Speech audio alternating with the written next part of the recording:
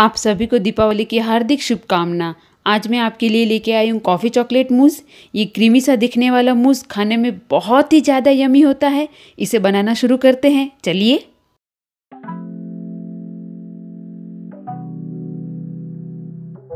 सबसे पहले हम एक बाउल में चार चम्मच कॉर्नफ्लोर ले लेंगे। नॉर्मल चम्मच ली है मैंने मेज़रमेंट के लिए, जिससे हम खाना खाते हैं। और अब मैं इसमें दो चम्मच चीनी ऐड कर दूँगी। चीनी आप अपने टेस्ट के अकॉर्डिंग ले। और अब हम इसमें हाफ़ चम्मच करीब कॉफ़ी डाल देंगे। कॉफ़ी भी आप अपने टेस्ट के अकॉर्डिंग ले। कॉफ़ी का टेस्ट आपको कम पसंद हो तो कम कॉफ़ी डालिए। एक पिंच नमक डाल देंगे और ड्राई इंग्रेडिएंट्स को मिक्स कर लेंगे।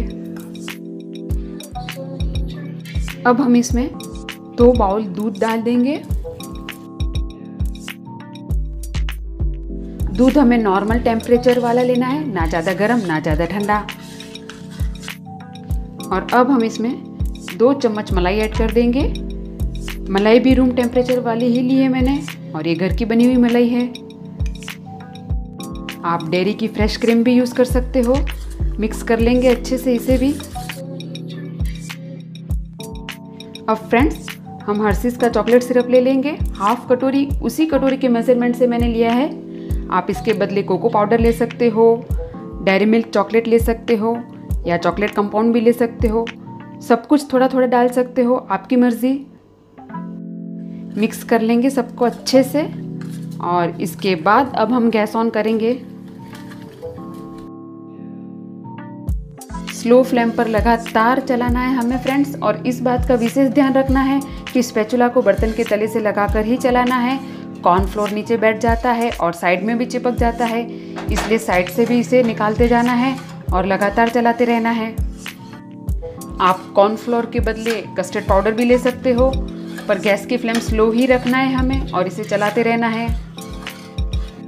ये जब तक अच्छे से ठीक ना हो जाए, तब तक हमें इसे चलाना है। और ये देखिए, अभी स्पेचुला में कोटिंग कंसिस्टेंसी नहीं है इसकी।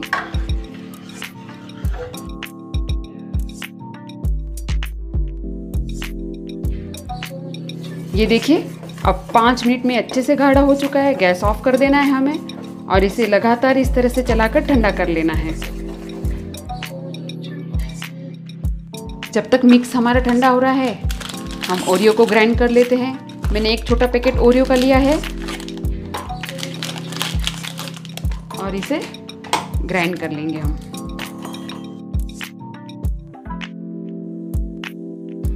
इस तरह से फाइन पाउडर बना लेना है हमें। ये देखिए। और अब हम जो मिक्स हमारा ठंडा हो चुका है, उसे छान लेंगे। पूरा ठंडा नहीं हुआ है अभी ये।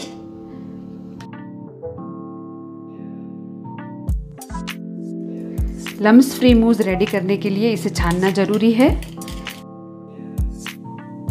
इस तरह से छानने पर एक भी लम्स नहीं रहेगा। मूस को छानने के बाद अब हम इसे छोटी कटोरी में निकाल लेंगे।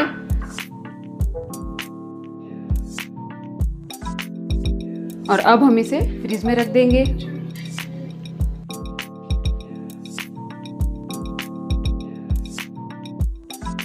ये देखिए, एक घंटे के लिए हमने इसे फ्रिज में रख दिया था। अब हमारा मूज अच्छे से सेट हो गया है। अब हम इसके ऊपर जो हमने ओरियो पीस के रखे थे, उसे डाल देंगे गार्निशिंग के लिए। और ये देखिए, कितना बढ़िया मूस बन के रेडी हुआ है हमारा। एक कटोरी वाले मूस को मैंने प्लेट में ट्रांसफ़र कर दिया है। आप कैसे भी सर्व करें प्लेट में या कटोरी में, इसका टेस्ट इतना गजब का है कि बहुत ही बढ़िया लगेगा। ये 10 मिनट में रेडी होने वाला मूस सभी चॉकलेट लवर्स को बहुत पसंद आएगा। वीडियो अच्छा लगा हो तो वीडियो को लाइक कीजिए और मेरे चैनल को सब्सक्राइब कीजिए। बहुत जल्द फिर से मुलाकात होगी एक नई रेसिपी के साथ। तब तक हैप्पी दिवाली। और भी वीडियोस के लिए मेरे चैनल को सब्सक्राइब कीजिए और बेल आइकन को दबाइए रेगुलर अपडेट के लिए।